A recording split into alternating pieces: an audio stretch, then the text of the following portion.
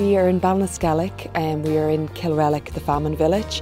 We're in this incredible coastline, the view is amazing and we are working on a very difficult shot with um, a handmade headpiece by David O'Malley, the Irish designer um, and it keeps falling backwards and forwards but we're getting there. It's very dramatic and um, I think she does look like some sort of ancient spirit so um, we're getting the desired effect.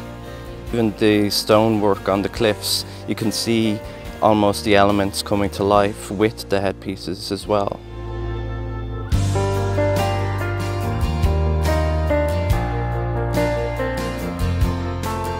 It started off pretty tense this morning because there was too much sunlight.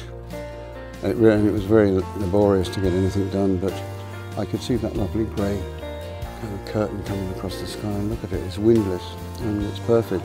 The makeup's uh, fitted in with the shoot because in, wherever we've gone, I've picked up the colours in this in the surrounding landscape. So, you know, we've used a lot of slaty sort of greys on the eyes, um, mossy greens, um, some shimmery greens going through as well. I mean, I've one eyeshadow in my makeup range called the Burn. So, I mean, how, how apt was that? It is a little dream come true to to imagine something and then to be in this spectacular place in Kerry and to see it come to life you know, and the team are working really well together. And our model Laura Grady has been such a trooper, she's amazing.